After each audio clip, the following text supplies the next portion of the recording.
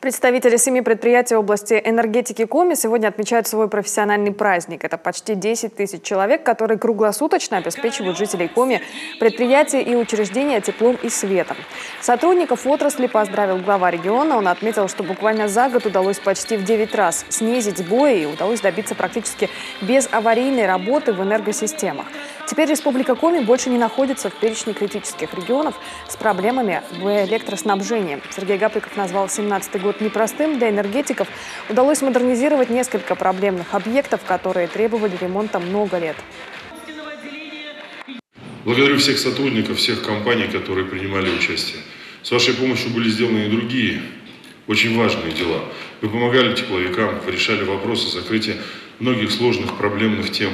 Конечно же, вы по-настоящему, по-партнерски относились к ряду серьезных моментов, которые не давали, может быть, сегодня дополнительной выручки, но вы понимающие относились к этому, помогали нам и вместе с нами решали эти сложные и важные задачи, потому что мы один большой народ Коми, для нас важно быть вместе в сложной ситуации, не только в праздничные дни.